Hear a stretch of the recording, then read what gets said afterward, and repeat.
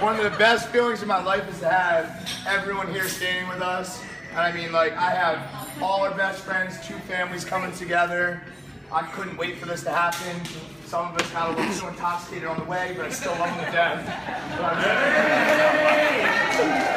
hey,